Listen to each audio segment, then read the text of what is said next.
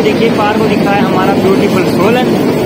और इसी के साथ हम पहुँच गए हैं बड़ोग। अब टनल जो कि है जिसकी लंबाई है एक हज़ार एक सौ तरतालीस पॉइंट सिक्स वन मीटर मतलब एक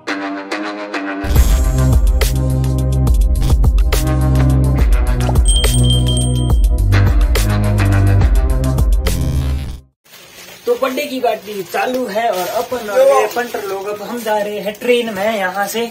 धर्मपुर और एक्सप्लोर करेंगे अपनी बड़ोग की टनल बड़ोग की टनल के पीछे एक बहुत ही रहस्यमयी कहानी है।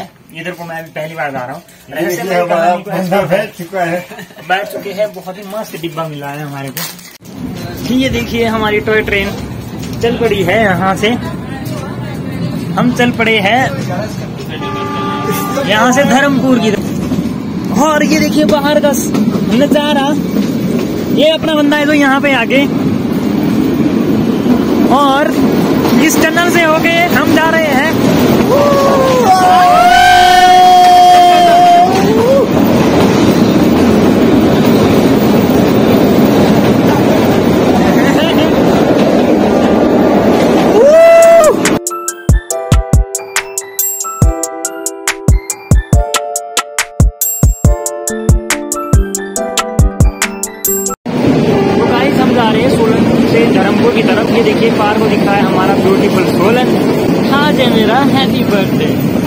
तो सोलन से धर्मपुर जाने का रीजन ये है कि इसमें बीच में पड़ती है एक बड़ो की टनल।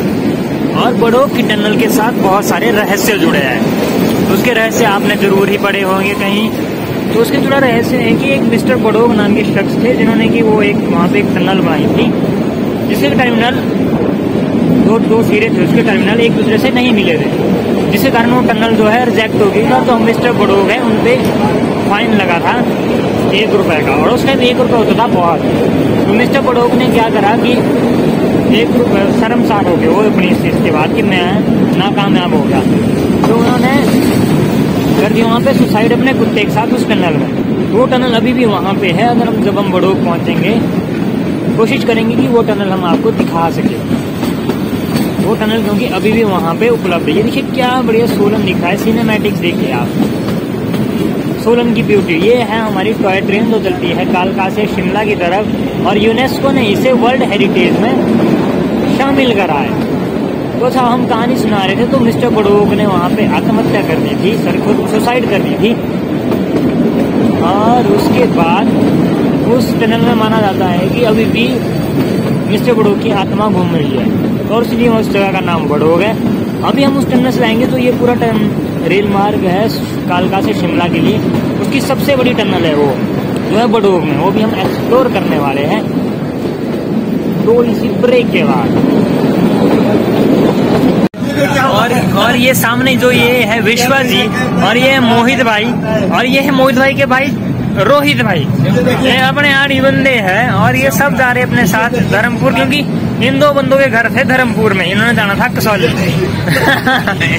ये देखिए ये देखिए कितने बल, बलवान लोग हैं हमारे साथ। और इसी के साथ हम पहुँच गए हैं बड़ोग। अब के बाद आएगी वो रहस्यमय टनल जहाँ के हमने जाना है। अपने पंटर लोग खींच रहे सेल्फी अभी हम भी खींचेंगे सेल्फी ट्रेन रुकी है पीछे अपनी ट्रेन है। ये बंदा भी खड़ा है कि जैसे हम कोई फ़ोटो खींच रहे हो। लेकिन हम पहुँचे बड़ोग में और अभी हम दिखाएँगे आपको सबसे बड़ी टनल। और ये है बड़ोग का खूबसूरत सा रेलवे स्टेशन। और ये है वो टनल जो कि है जिसकी लंबाई है एक हज़ार एक सौ तरतालीस पॉइंट सिक्स वन मीटर मतलब एक पॉइंट कुछ किलोमीटर है और वो ऊपर इसका टर्मिनल दिख रहा है जहाँ से बाहर होती है। और वो जो टनल रिजेक्ट हो गई थी उस टनल का पता नहीं है शायद इस रेल मार्ग पे है वो टनल।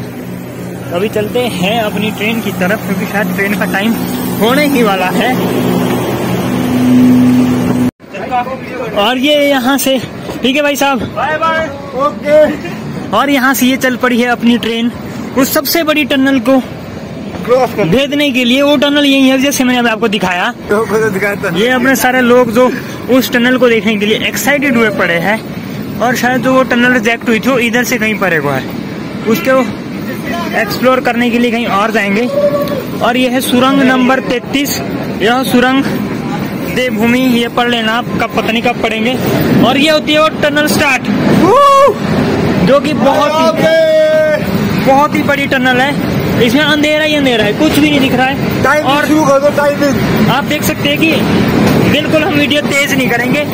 उसी स्पीड चलेगी देखते हैं कितना टाइम लगता है इस टनल को। ये टनल एक किलोमीटर से ज़्यादा की ज़्यादा बड़ी है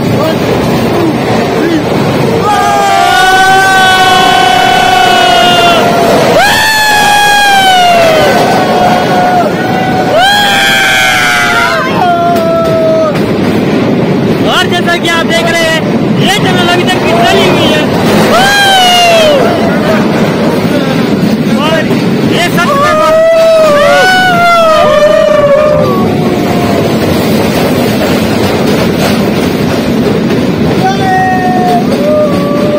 एक किलोमीटर लंबी टनल है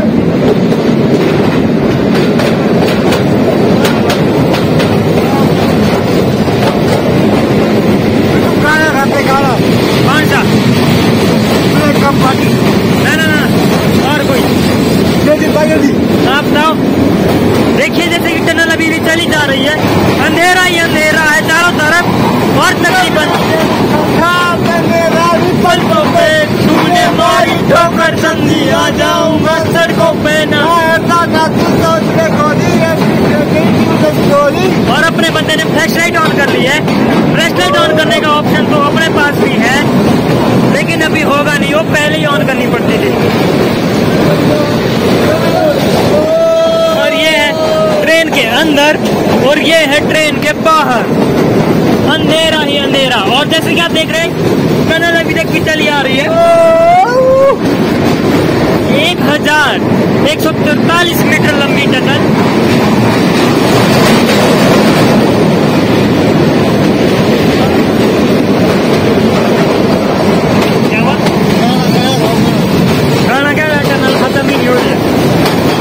देखिए हमारे को मिनट से ज़्यादा का टाइम हो गया है। लेकिन टनल अभी तक खत्म ही नहीं हो रही है। जिसे कि आप देख सकते हैं कि टनल कितनी लंबी है। ओ भाई कितनी लंबी टनल है? हाँ दो मिनट हो गए कम से कम। तो,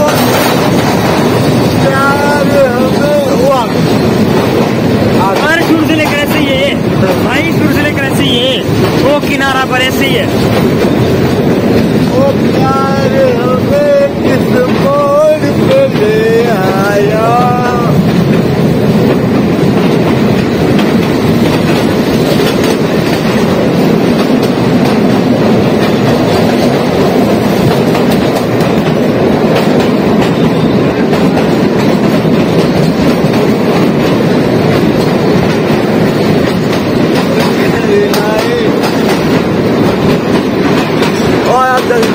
और इसी के साथ।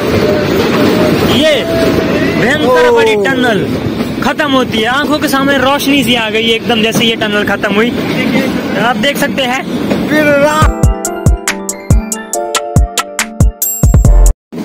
तो आप देख रहे हैं ये बड़े परे के नज़ारे। और इससे भी बेहतरीन नज़ारे आते हैं। तब हम जाते हैं सोलन से शिमला की तरफ़। और इसी के साथ हम पहुँच गए हैं कुमार हट्टी डगशाई में। यहाँ एक छोटा सा रेलवे स्टेशन है। और ये अपने लोग यहाँ देखिए अपने पंटर लोग।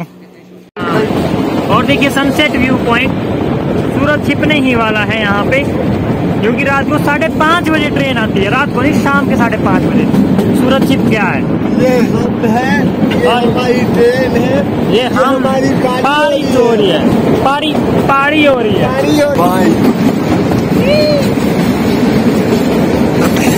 क्या आता है ये देखिए। ये देखिए। नादान बंदे। वैसा जी वीडियो बनाते हुए रील के लिए। और मैं उनको क्या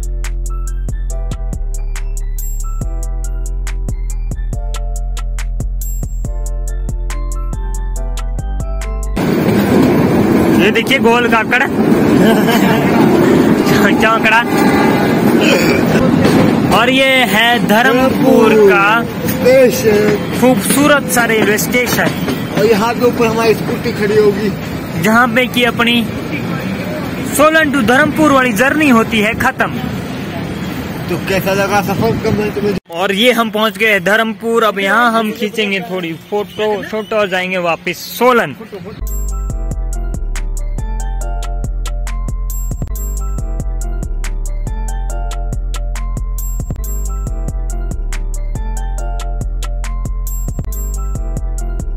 तो ये है धर्मपुर का रेलवे स्टेशन और यहाँ पे अपनी जर्नी होती है, खत्म अभी देखते हैं हम आगे यहाँ से सोलन जाते हैं.